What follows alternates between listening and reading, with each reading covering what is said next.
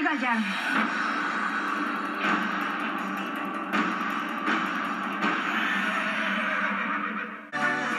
Es la última persona que esperaba ver en este hospital.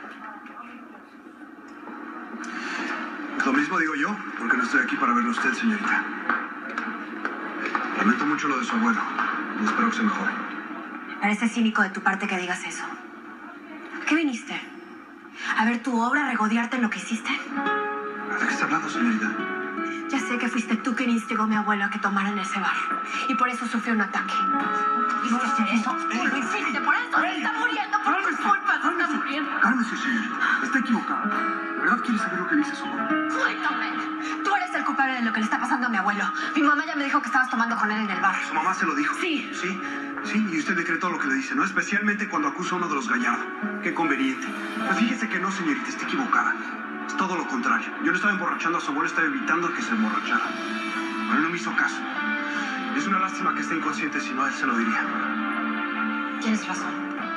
No te creo. Y voy a hacer todo lo posible para hacerte pagar por esto. Sí, te estoy diciendo la verdad y tengo testigos. Además, si yo hubiera querido emborrachar a su abuelo, no lo hubiera conseguido. Que me odia. Me odia igual que a mis hermanos y yo no sé por qué, si yo nunca he tenido nada que ver con ninguna de sus nietas. No, afortunadamente no. Lo hubieras intentado para completar el plan. Nuevamente se equivoca, señorita. ¿Y sabe qué? Yo con usted y aunque usted fuera la última mujer sobre la tierra. Y yo contigo, ¿oíste?